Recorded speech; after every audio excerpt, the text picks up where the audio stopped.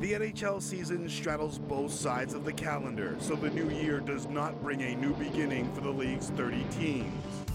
One's feats or failures of the first 30 games are carried across the threshold, and success will be determined by who best bears the weight the rest of the way. Ottawa's early struggles cost their coach his job, so now it's Dave Cameron's responsibility to reinstill in the Senators the promise they showed two seasons ago. Very few hockey players in the world can make this play. Tonight, they face Pavel Datsyuk and his Detroit Red Wings, who hope their win over Buffalo just before the break puts their six game slide in the past. The Winnipeg Jets have earned at least one point in each of their past 13 games, putting them on a steady path to their first playoff appearance in eight years when the franchise was still in Atlanta.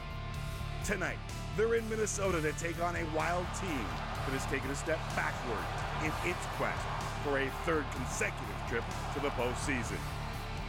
The story of 2015 is waiting to be written. It begins tonight on Hockey Night in Canada.